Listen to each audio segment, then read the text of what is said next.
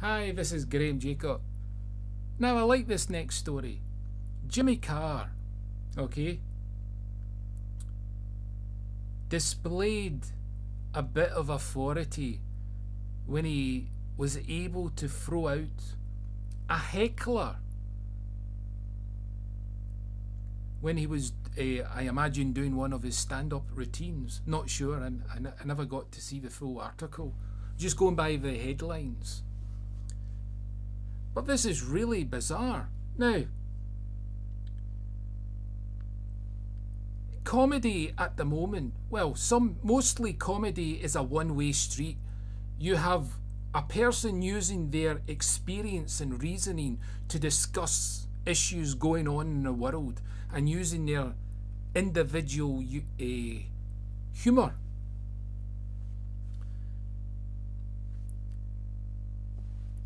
So you only get a one sided perspective on things, some mostly.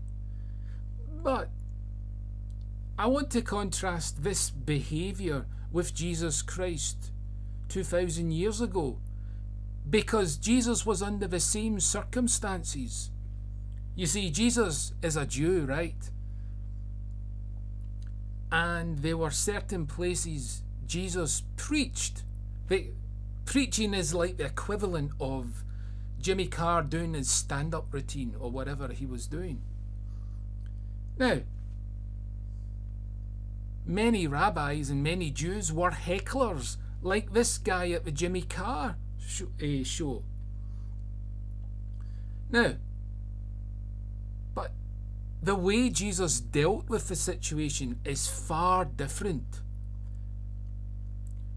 Because there's no hope in the message of Jimmy Carr's comedy routine, however funny it may be. There's no reason why a member of the audience should follow Jimmy Carr. Because most people can make observations in the world.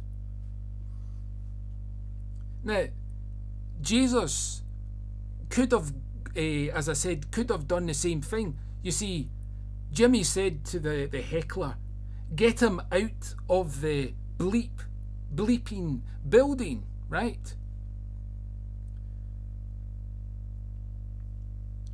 He used his authority, okay?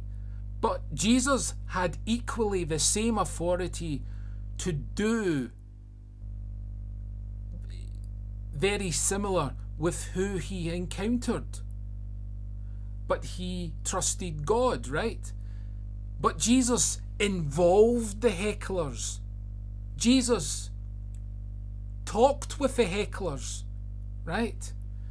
Sometimes he wasn't successful, like in the case of a, I think it was the rich Jew, and he said, Oh, what must I do to gain heaven? And he says, Give up all your riches. And because he was rich, he didn't want to do that. So he wasn't successful all the time. But Jesus offered him what it was he had to do.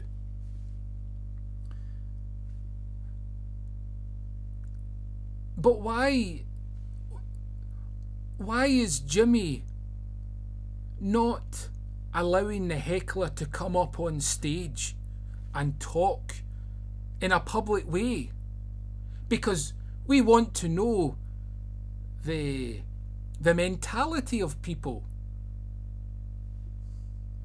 Because a human is a victim to their lifestyle.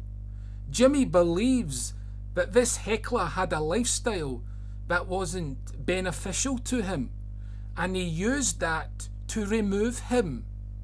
Now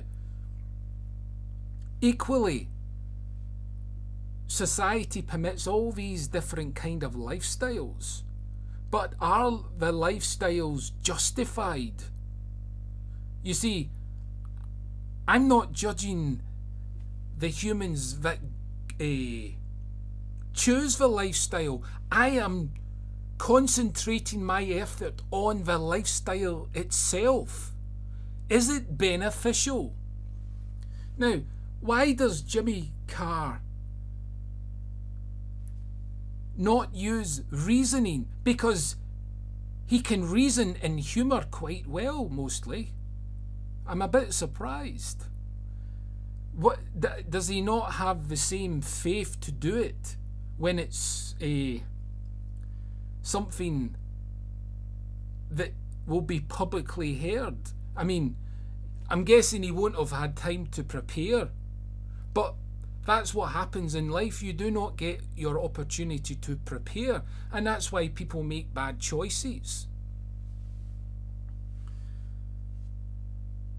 You see, Jimmy Carr took the easy road out. He had the heckler removed. But I would have wanted to keep the heckler and get the heckler to change their heart to become an unheckler, for want of a better word. You see, Zacchaeus the tax collector had his heart changed as a result of talking with Jesus. Jimmy Carr did not have the strength of his education, his experience, his belief in atheism, his lifestyle to get this heckler